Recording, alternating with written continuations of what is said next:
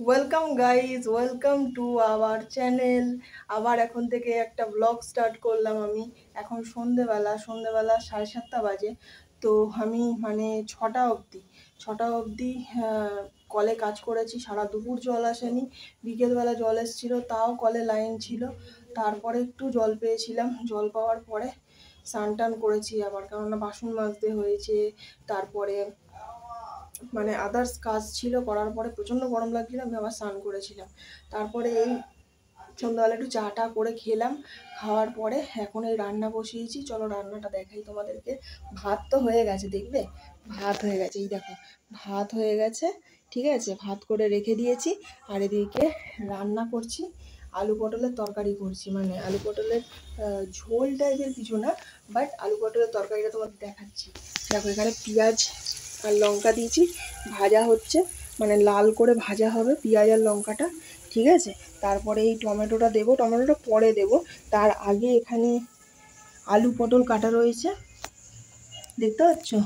লম্বা লম্বা করে পটল আর এখানে হচ্ছে আলু। এইগুলো কাটা রয়েছে। এইগুলো আগে দেবো। পেঁয়াজটা লাল করে ভাজা হয়ে গেলে আলু পটলটা দিয়ে দেবো, তারপরে মানে ফ্রাই করে নেব একটু লাল লাল করে, তারপরে টমেটোটা দেবো, তারপরে মশলাপাতি দেবো, ঠিক আছে? এইভাবে রান্নাটা করি, তারপরে কথা হচ্ছে আবার। আর কী বলতো, প্রচণ্ড পরিমাণে গরম পড়ে গেছে মানে কি বলব মানে সহ্য করা যাচ্ছে না, এতটা পরিমাণে গরম পড়ে গেছে। উফ, সকালবেলা যে ব্লগটা বানিয়েছিলাম, দেখতেই পেলে। যে ঘেমে টপ টপ করে ঘাম পড়ছিল। আর এখনও মানে আমি যে সন্ধ্যেবেলা চান করেছি না মানে ফিলিংসই হচ্ছে না যে সন্ধ্যেবেলা আমি চান করেছি।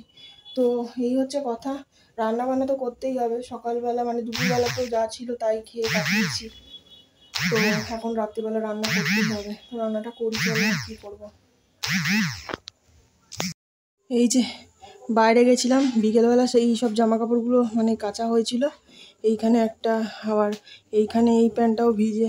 তো এইগুলো সব ঘরের মধ্যে নিয়ে এসে মেরে দিয়েছি। তার কারণ হচ্ছে রাত্রে হয়ে যাচ্ছে তো। অলরেডি অনেক রাত মানে সন্ধ্যা হয়ে গেছে। এখন বাজে সাতটা ছেচল্লিশ, ঠিক আছে? তো এগুলো এখন মেলে দিয়েছি। আর ওদিকে তো তরকারি হচ্ছে। আর আজকে এই ফ্যানটাকে বার করেছি। কারণ মানে দুপুরবেলা মানে কি বলব? এত গরম হয় না সিলিং ফ্যান চালানো যায় না। মানে সিলিং ফ্যান থেকে মানে প্রচণ্ড পরিমাণে গরম হলকা নামে। তো সিলিং ফ্যান যেহেতু চালানো যায় না, ওর জন্য এই ফ্যানটাকে বার করেছি। এই ফ্যানটা দুপুরবেলা চালাই, এই খাটে শুই, তো ডাইরেক্ট হাওয়াটা আসে। মোটামুটি চালিয়ে নিতে পারি। আর এদিকে রান্না হচ্ছে। চলো, আলু, পেঁয়াজ মানে পটল সব কিছু দিয়ে দিয়েছি। টমেটো টমেটো সব কিছু দিয়েছি, নুন আর হলুদ দিয়েছি। এরপরে আদা রসুনের পেস্ট দেবো, মশলাপাতি দেবো। কী কী মশলা দিচ্ছি সেগুলোও শেয়ার করব। আর একটুখানি ভিনিগার দেবো ভাবছি। আর আমি জানো তো সবজি করলে না, এই সবজি মশলা না পেলে, এই সাম্বার মশলা বলে এবার এসছে যেটা পাওয়া যায়, এটা ইউজ করি। এটা ইউজ করলেও কিন্তু সুন্দর টেস্ট আসে, ঠিক আছে? এটা জেনে রাখো, এই সবজি মশলা না পেলে বা সাম্বার মশলা সবজিতে যে কোনো সবজিতে কিন্তু তোমরা ইউজ করতে পারো। তাহলে জিনিসটার টেস্ট কিন্তু ভালো হয়। এবারে ভিনিগার দেবো নাকি ভাবছি, দিলে দিতেও পারি, না দিলেও দিতে পারি। তো চলো এটা একবার নাড়িয়ে দিই।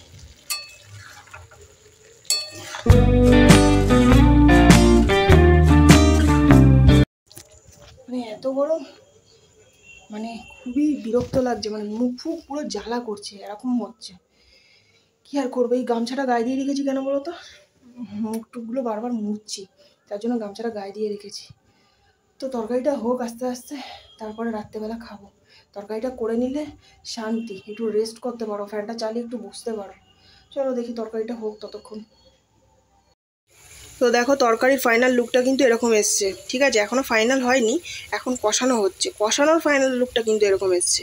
আর এইখানে যা যা ইনগ্রেডিয়েন্টস আমি ইউজ করেছি মানে উপকরণ যা যা আমি ইউজ করেছি, সেগুলো কিন্তু তোমাদেরকে আমি দেখিয়ে দিচ্ছি। ঠিক আছে? দেখো, আদা রসুনের পেস্ট দিয়েছি, ওগুলো ভাজা ভাজা হওয়ার পরে তারপরে তার আগেই তো হলুদ দিয়ে দিয়েছিলাম। দেখেছ বা দেখিয়েছি এর আগ- আগের মানে শটে। আর হচ্ছে তারপরে আস্তে আস্তে এদিকে লঙ্কা গুঁড়ো দিয়েছি কাশ্মীরি মির্চ দিয়েছি, ম্যাগি মশলা দিয়েছি, সাম্বার মশলাটা দিয়েছি, ঠিক আছে? আর গরম মশলাটা লাস্টে দেব। আর ভিনিগারও একটু দিয়েছি। হলুদের কথা তো বললাম। আর চিনি দিয়ে দেবো, ঠিক আছে? এই যে চিনির কৌটো, চিনি যেটুকু পরিমাণ লাগবে দিয়ে দেবো। আর নুন তো প্রত্যেকটা জিনিসেই দিতে হয়। নুন দিয়ে দিয়েছি, ঠিক আছে? আর হচ্ছে, আর সেরকমভাবে কিছু ইনগ্রেডিয়েন্টস আমি দিইনি বা ইউজ করিনি। আর সবথেকে বড় কথা, ম্যাগি মশলাটা। ম্যাগি মশলাটা কিন্তু আমি যে কোনো সবজি করলে ইউজ করি। তার কারণ ম্যাগি মশলাটা না একটা মানে অসাধারণ টেস্ট আনে, ঠিক আছে? একটা স্পাইসি ভাব আনে। তো ম্যাগি মশলা কিন্তু তোমরাও ইউজ করতে পারো, ভালো লাগে খেতে। মোদ্দা কথা হচ্ছে, ভালো লাগে খেতে।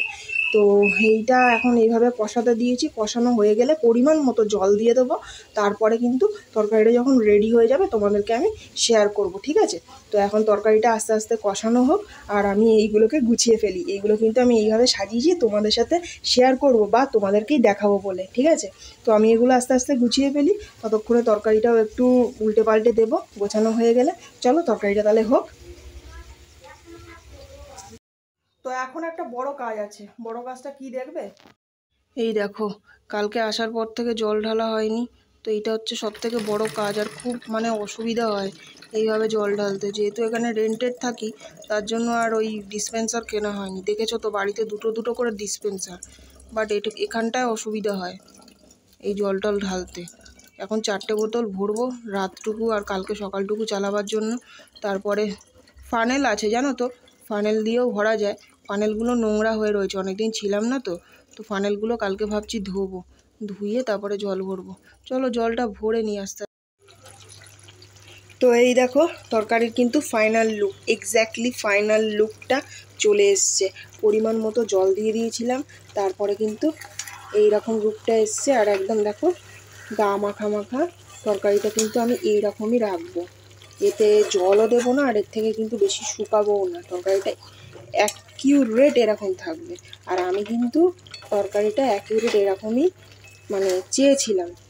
আর আমি এই ধরনের আলু পটলের তরকারি মানে খুবই খুবই পছন্দ করি। তো আজকের ব্লগটা আমি এখানেই শেষ করছি। আবার নতুন ভিডিওর সঙ্গে দেখা হচ্ছে।